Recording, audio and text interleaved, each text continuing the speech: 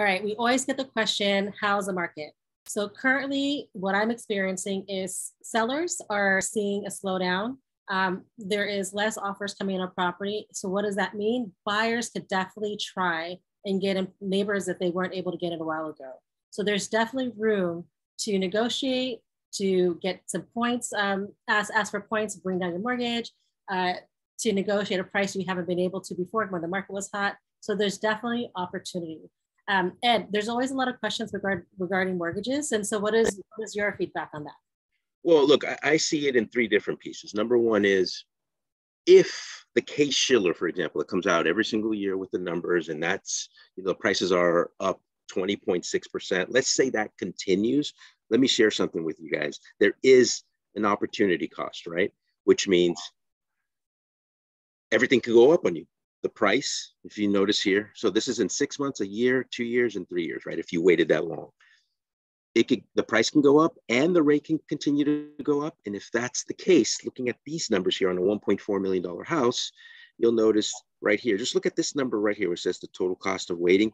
If you wait six months, it could be that you lost $75,592. And that's a breakdown of both the loss in the appreciation, meaning equity that could have been in your pocket, and also paying down your mortgage, meaning the principal amount of your loan going down.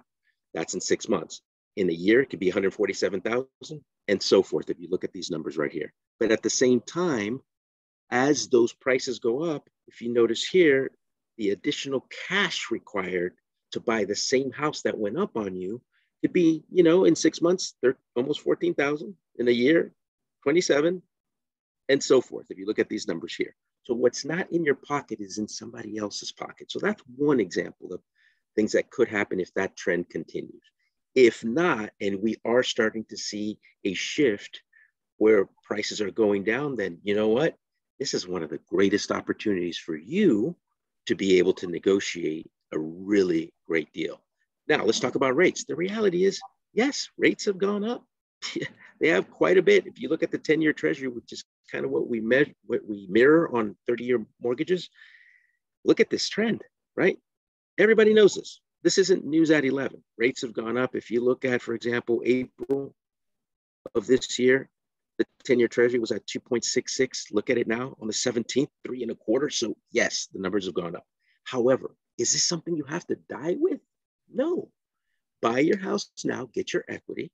And guess what? When the rates come down, because they will, then let's refinance you. Let's use some of that equity that's in your house already to pay the closing costs, to buy down the rate, maybe even lower, and let's get you refinanced into a really great rate when the rates go down. Because the reason why rates are going up, again, is because we have to tame this monster, which is called inflation. So those are the situations. Now, by the way, the third piece that I wanted to mention is right now, not only can you negotiate price, but maybe you can even negotiate with the sellers for them to kick in a credit so that you can buy down the rate. So for example, maybe the seller decides to give you 20 grand extra, right? Use that money to buy down the rate. That's something that a lot of people don't talk about, and it's a really powerful tool and strategy. Yeah, that is going to be a, tool that a lot of agents should use right now is buying down the rate. So sellers, you are still leveraging on high prices. You know, the, the, the market hasn't gone down. Um, it, there's been some shifting, but it hasn't got, gone, gone down. So if you think about selling, there is opportunity to still leverage on the recent prices. For buyers, there isn't as much competition and uh, there are some opportunities to get in neighborhoods you haven't thought you've been able to get into. And I would say it's definitely worth giving a shot. So talk to your trusted mortgage and real estate professional. And if you don't have one, we are here for you. Yep. And we could do custom reports for you and work out the numbers because as you know, numbers don't lie, emotion, especially right now, everybody's highly emotional right now. Everybody's running scared. Don't be scared. Take action. That's important. All right. Well, thank you so much for joining us today. And let us know if you have any you. specific questions, and we're always here for you. Thank you.